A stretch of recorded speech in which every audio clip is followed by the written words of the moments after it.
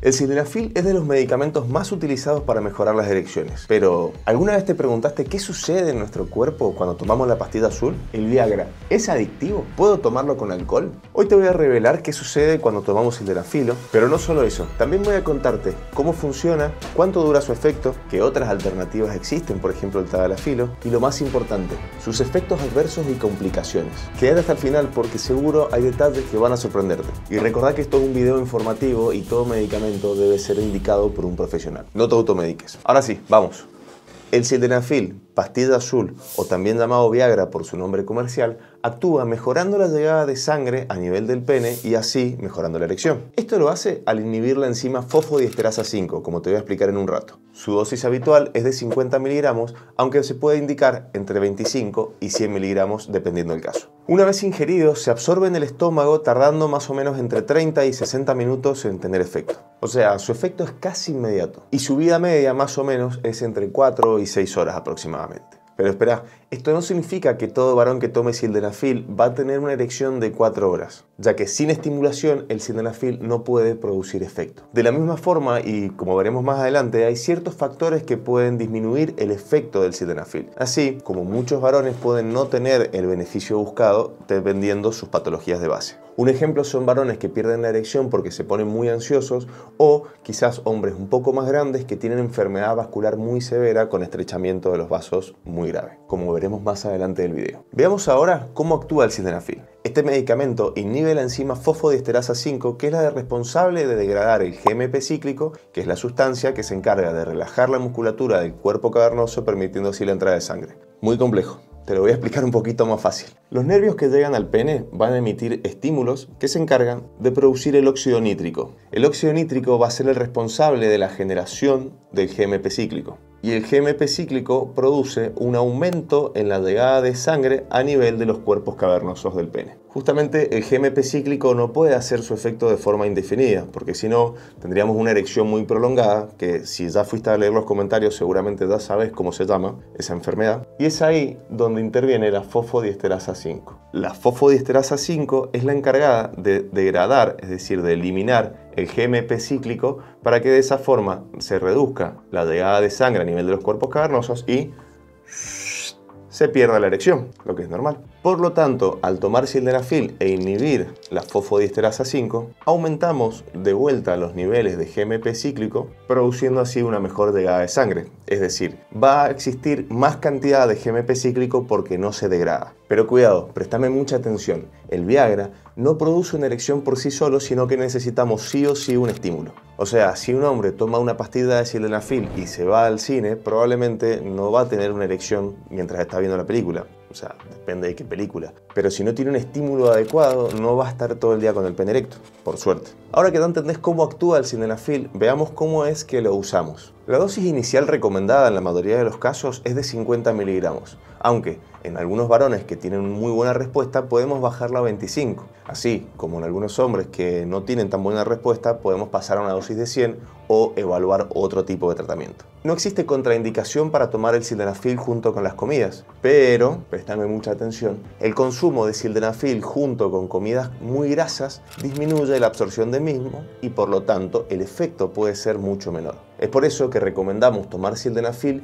dos horas más o menos alejado de las comidas, con el estómago vacío. Una vez que lo consumimos y se absorbe, la duración del efecto va a ser entre 4 y 6 horas, por lo que dicho de otra forma es como tener un aliado secreto durante este tiempo que va a estimular y ayudarnos para tener mejor erección, pero no en todos los casos. Hay dos indicaciones específicas para el uso de sildenafil, que como ya hablamos mucho, la primera es la disfunción eréctil orgánica, principalmente de causa vascular. El tabaquismo, la hipertensión, diabetes, problemas de lípidos no controlados, así como el sedentarismo, generan un estrechamiento de los vasos sanguíneos de todo el cuerpo, entre esos los del pene. Cuando nosotros consumimos el sildenafil, el flujo de sangre va a aumentar, permitiendo así la llegada de más sangre y más erección. La segunda indicación es la hipertensión pulmonar, que hasta ahora no hablamos nada de eso. Y lo más curioso es que el uso del sildenafil en disfunción eréctil se descubre cuando estudiando pacientes con hipertensión pulmonar vieron que estos tenían una respuesta a la erección mucho mejor. Serendipia. Hasta acá todo parece perfecto, pero tenemos que entender que hay efectos adversos y contraindicaciones. Pacientes que toman nitratos por problemas del corazón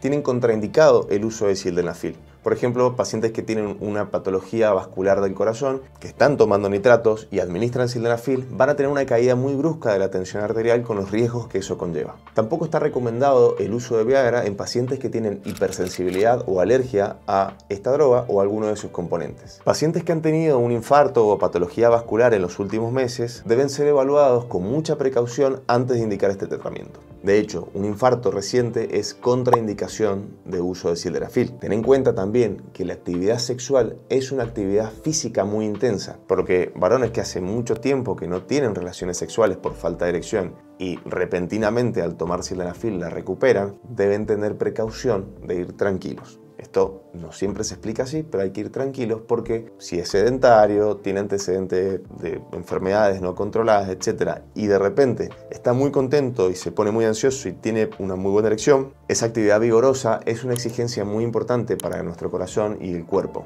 por lo que mucha precaución con eso también. Y como seguramente ya viste en los comentarios, personas que están consultando sobre los efectos adversos y como un premio a permanecer conectado en este video, te voy a detallar cuáles son los efectos adversos de esta medicación. Los más comunes, afortunadamente, tienen poca gravedad y entre ellos tenemos dolor de cabeza, congestión nasal, rubor, enrojecimiento, dispepsia, así como algún tipo de alteración visual. Generalmente son síntomas leves y ceden al suspender el tratamiento, pero siempre avisarle a tu médico. En casos muy raros puede haber una pérdida repentina de la audición o de la vista. Eso sí, debe ser una urgencia y hay que acudir a una guardia. Personas que tienen enfermedad en el hígado o enfermedad renal especialmente grave deben tener precaución y generalmente se usan dosis mucho más chiquitas o en algunos casos es mejor no usarlo. Y seguro hasta acá te estás imaginando que un efecto adverso que puede existir es el preapismo. Justamente esta erección prolongada en el tiempo de más de 4 horas puede ocurrir tras la administración de sildenafil. Es poco frecuente, pero si ocurre hay que drenarlo y tratarlo, porque si no puede haber una disfunción eréctil severa e irreversible. Dolores musculares, anorgasmia o incluso dificultad para eyacular, así como erupciones cutáneas, son efectos adversos muy raros, pero que cada tanto los podemos ver. Y no solo tenemos que conocer los efectos adversos del sildenafil, sino también las interacciones con otros fármacos. Ya te hablé recién de los nitratos, que hay que prestar mucha atención y está contraindicado, pero hay algo mucho más frecuente. De hecho, diría que es la medicación más usada en neurología, que es la tamsulosina. Quizás ya lo viste en otro video, pero la tamsulosina la usamos en varones que tienen problemas por agrandamiento prostático porque ayuda a mejor. Uno de los efectos adversos es la caída de la tensión arterial. Cuando administramos sildenafil junto con tamsulosina, debemos prestar mucha atención porque puede existir una caída de la presión que puede ser grave o incluso predisponer a caídas. Otros medicamentos como antivirales o ciertos fármacos para la presión arterial pueden tener también este efecto adverso, por lo que es importante que evaluemos la medicación que toma nuestro paciente antes de indicar el sildenafil. Una de las preguntas que todos me hacen es, ¿pueden los chicos jóvenes tomar sildenafil? La respuesta es Depende. Varones que han tenido un traumatismo de pelvis con fractura, algunas cirugías urológicas severas,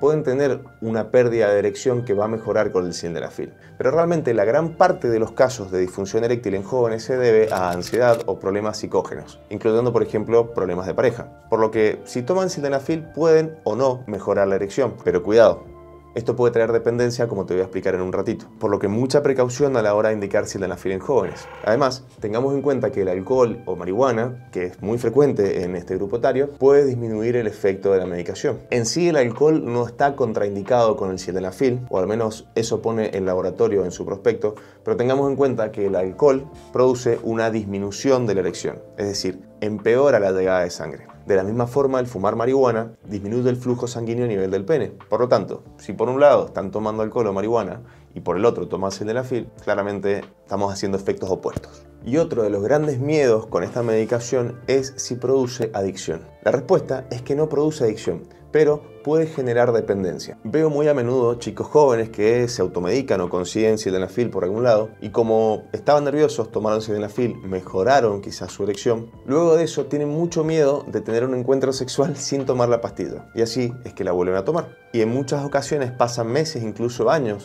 tomando sildenafil antes de tener relaciones porque tienen mucho miedo de fracasar. Y cuando queremos acordar, ya llevamos un montón de tiempo tomando esa pastita cuando quizás no estaba indicada. Por eso, mucha precaución, especialmente en varones jóvenes que tienen disfunciones de causa psicógena. Y de vuelta, recordemos el efecto negativo del alcohol y la marihuana. Y repitamos, alcohol y marihuana disminuyen el efecto del sildenafil. Los alimentos grasos, como te expliqué al principio, disminuyen la absorción. El tomar la pastilla muy lejos del encuentro también no va a hacer efecto porque recuerden que tiene una vida media de un par de horas. Por lo tanto, si yo la tomo hoy y voy a tener relaciones mañana, no va a hacer nada. Y esto no sé si, no sé si decirlo realmente, pero lo veo muy a menudo. Y al menos en mi país yo noto que las marcas comerciales varían mucho. Aunque existen un montón de preparados, no todas las marcas son iguales. Tampoco es que existe una sola que es buena, pero hay algunas marcas comerciales que realmente no tienen regulación y el efecto uno se da cuenta que es malísimo. De hecho, mis pacientes a veces dicen que cambian de una marca a otra y se dan cuenta que el efecto es malo. No sé de qué país me estarás viendo del otro lado de la cámara, pero me interesa mucho que me comentes si has tenido este tipo de experiencia con algún fármaco que has tomado. Recordemos que el sildenafil solamente causa un síntoma, que es el problema de erección